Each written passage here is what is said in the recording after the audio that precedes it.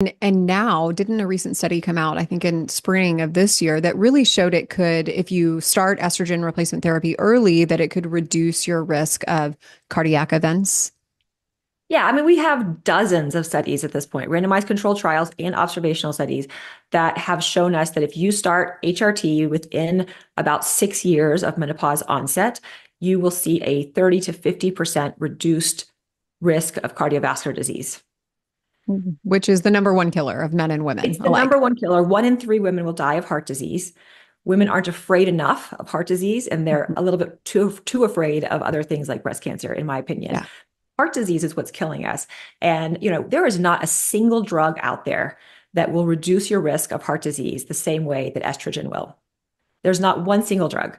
And that includes your statins, that includes your aspirin, that even includes your, you know, like all kinds of things. Any drugs that are out there are not reducing your risk the same way estrogen does. And yet, even the cardiologists don't mm. think about or use estrogen, which they should.